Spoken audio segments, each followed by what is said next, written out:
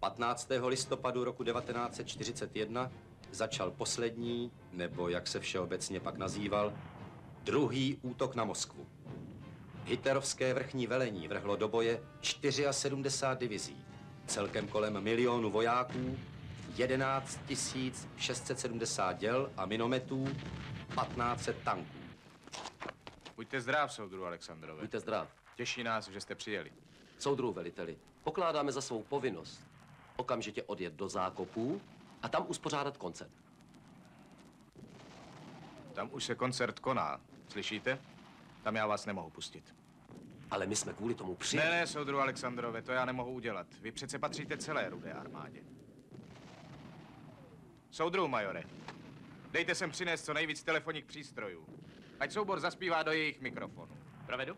Vojáci v zákopech to uslyší a potěší se. Děkuji, soudru veliteli. Tak hodně zdaru. Nástup. Připravit.